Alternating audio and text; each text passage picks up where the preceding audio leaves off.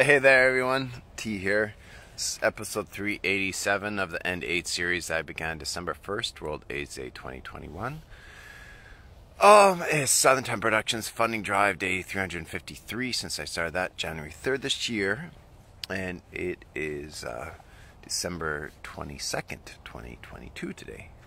The final 22222 day of 2022. So, um, anyways, um, yeah, it's uh, what day is it? It's Thursday, and um, yeah, just a few days before Christmas. Um, bought a razor for my son, easy for his hair, easy to. That's pretty much it. That's all I did today. Oh, I teach a student today online, and um, that's it. I talked with Alistair last night um, Southern Time Productions finance financial guy. He'll be our CFO once funded, and um, he um, he's always supportive, and um, yeah, very very good person to have on the team. So yeah, just uh, yeah, just it'd be such a, amazing, a miracle if. Uh, we could get funded, at least even 30,000 Canadian would get us started. Southern Time Band could start rehearsing and performing locally.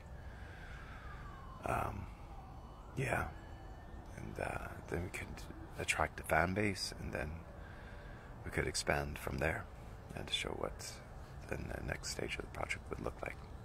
But it really re- rests in the Dreamer series. The whole thing rests in the Dreamer series. That's the foundation.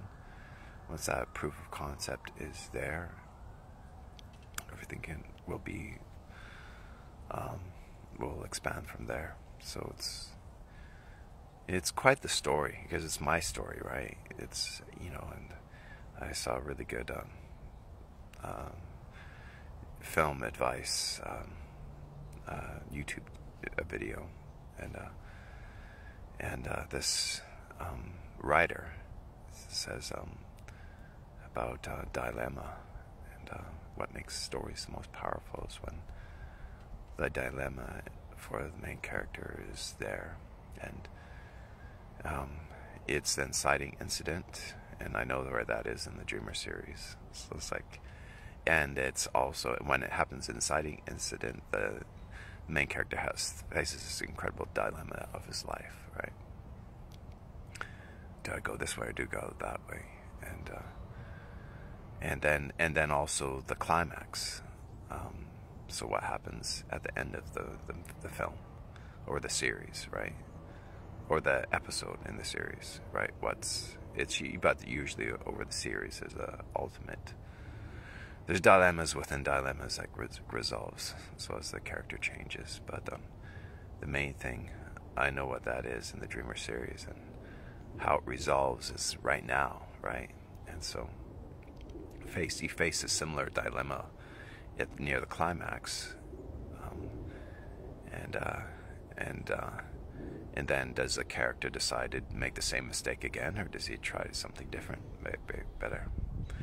So, yeah, so I'm making those choices now. Anyways, guys, hope you're doing well, and you know, story art represents life, and and vice versa. Um, so you know like write down the story of your life. That's what we want to do at Southern Time Productions.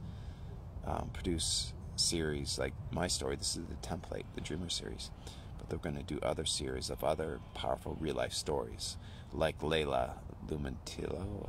I forget her last name. I should get that down. Lumentillo, I think, but Layla, um, 22 years old, um, living in Norway now, but from the Congo.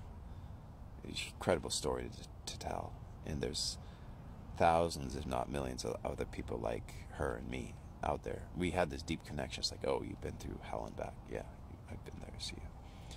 And I think those are powerful stories the world needs to, to see and to be aware of. Put into context the hell that's been going around for a, a lot of people for a long, long time under the surface of the mainstream eye. You know, and so what the mainstream is going through right now is starting to represent the hell that a lot of us have been going through for decades, right? And so for years. So just to put things in context, you know, and maybe you guys could learn from us, um, sort of what we've gleaned, how we've, if we survived, obviously we figured something out that's working, so we can pass that wisdom along. Anyways, guys, hope you're doing well. Talk tomorrow.